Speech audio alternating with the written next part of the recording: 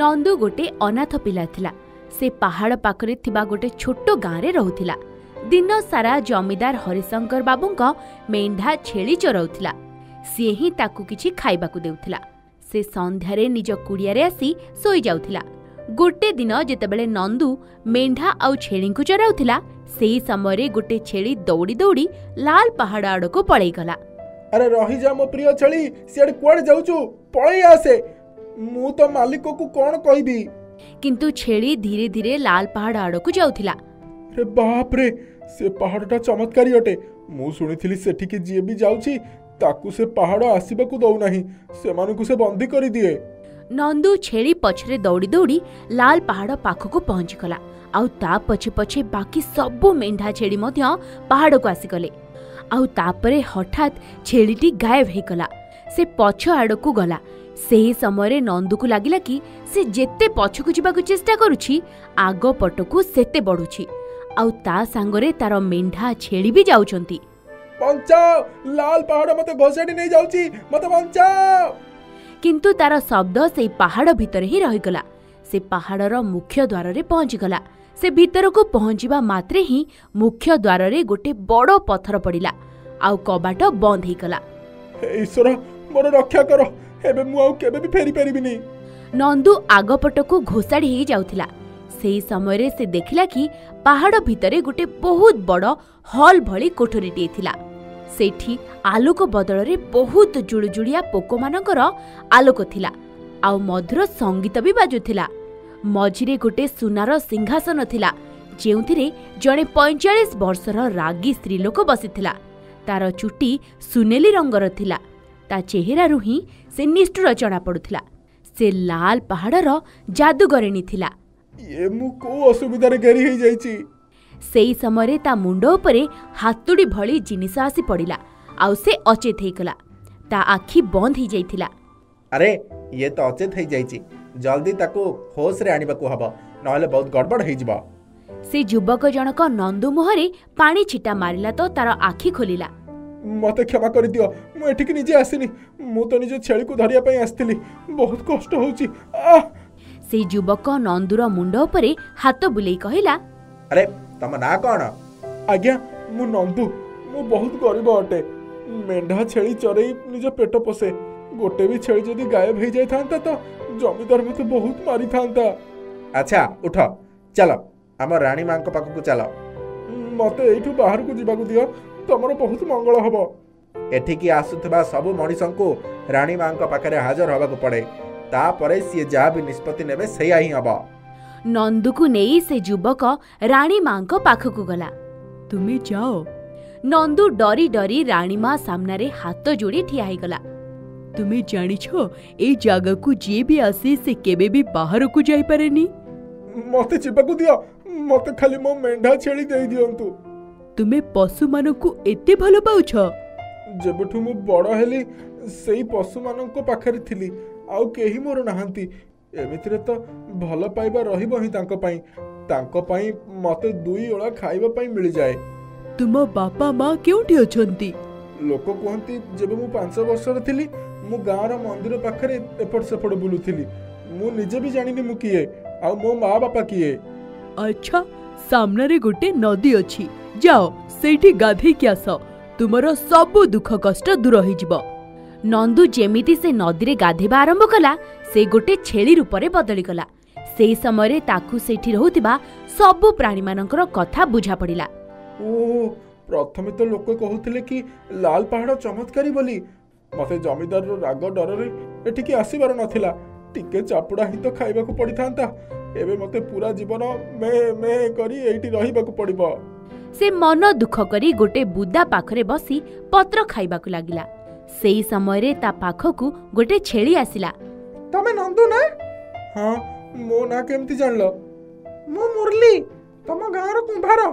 ତମେ ଏଠି କେମିତି ଫସିଗଲ ମୁରଲି? କଣ କହିବି ଭାଇ?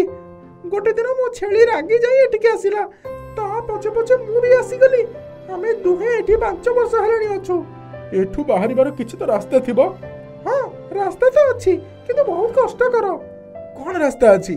ସେ ଗୋଟେ ଯାଦୁଗରିଣୀ ଅଟେ ଯାହାକୁ ସମସ୍ତେ ରାଣୀମା କୁହନ୍ତି।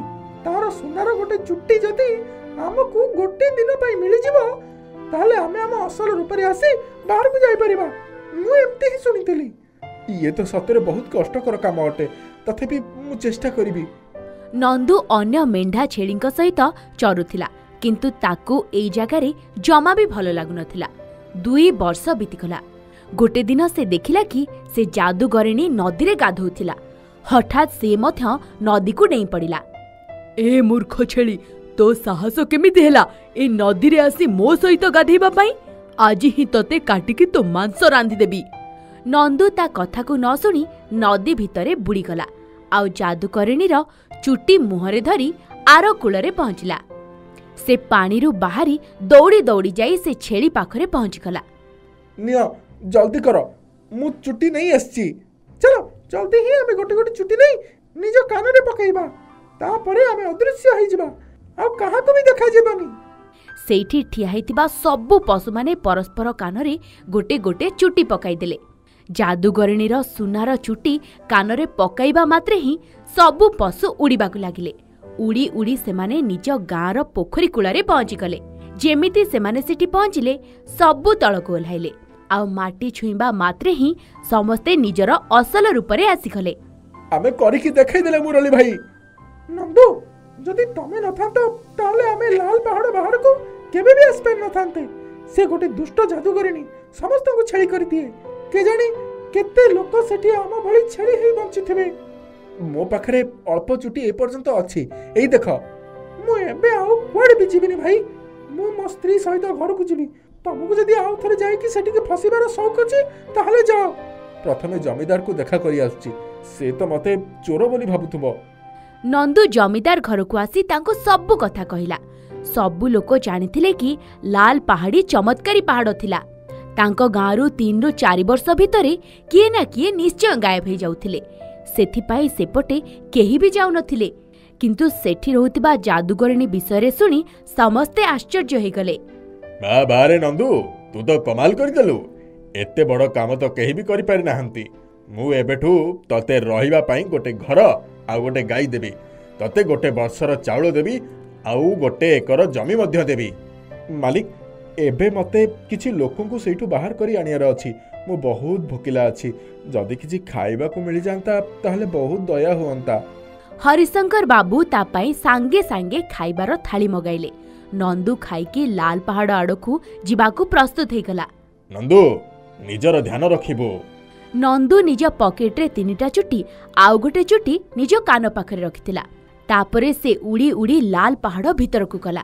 ସେ ନଦୀ କୂଳରେ ଗୋଟେ ଗଛ ଉପରେ ଯାଇ ବସି ପଡ଼ିଲା ସେଦିନ ଯେମିତି ଯାଦୁଗରିଣୀ ନଦୀରେ ଗାଧୋଇବା ପାଇଁ ଆସିଲା ନନ୍ଦୁ ସାଙ୍ଗେ ସାଙ୍ଗେ ନଦୀକୁ ଡେଇଁ ପଡ଼ିଲା। ଆଉ ସେ ତା ହାତ ମୁଠିରେ ତାର ଚୁଟିକୁ ଧରି ପକାଇଲା। କିଏ ଅଛ?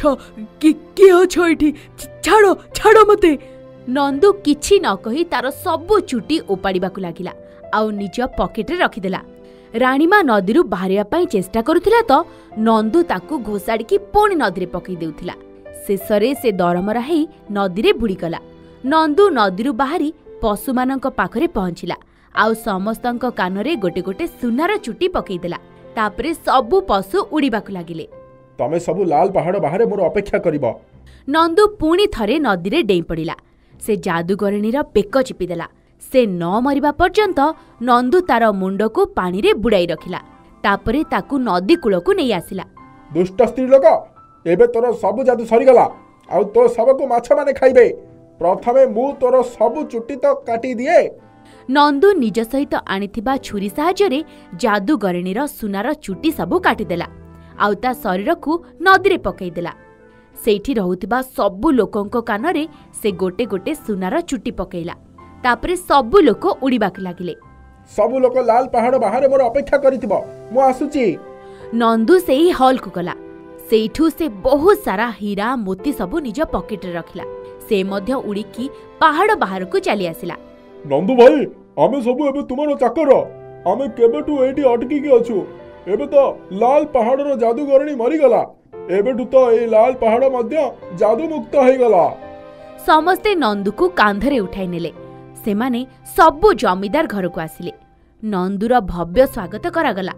ନନ୍ଦୁ! ତୁ ତ ବହୁତ ସାହସୀ ଓ ବୁଦ୍ଧିମାନ ବାହାରିଲୁ। ଏବେ ମୁଁ ତୋର ବାହାଘର ଗୋଟେ ସୁନ୍ଦର ଝିଅ ସହିତ କରେଇଦେବି। ତତେ ଏବେ ମେଣ୍ଢା ଛେଳି ଚରେଇବାର ଆବଶ୍ୟକତା ନାହିଁ। ନନ୍ଦୁର ସାହସିକତା ଆଉ ବୁଦ୍ଧିମତା ହେତୁ ଲାଲ ପାହାଡ଼ ଯାଦୁରୁ ମୁକ୍ତ ହେଇଗଲା। ଏବେ ସେଇଠିକି ସବୁ ଲୋକ ଆରାମସେ ଯାଇପାରୁଥିଲେ।